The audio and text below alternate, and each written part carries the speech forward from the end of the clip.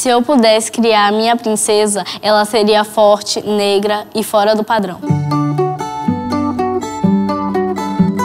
Minha princesa favorita é a Pocahontas, que ela é guerreira. Eu gosto muito da Diana porque ela tem a cor igual a minha. E a Bela eu adoro por causa que ela não liga sobre a aparência. A que eu mais me identifiquei, assim, é a Valente. Só pelo nome dela, Valente, já dá pra mostrar que ela já tem uma mulher de atitude, sabe? É, eu gosto muito dos contos de fada, mas por que, que eles sempre colocam as meninas como as indefesas? Gente, eu acho isso super errado, sabe? A menina, ela pode ser independente, ela pode ir lá e descer da torre sozinha. Isso motiva as meninas a vencer na vida. Não esperar algum menino chegar lá e salvar a gente, porque isso não vai acontecer. É, chegar de cavalo e vir te salvar, não vai acontecer isso.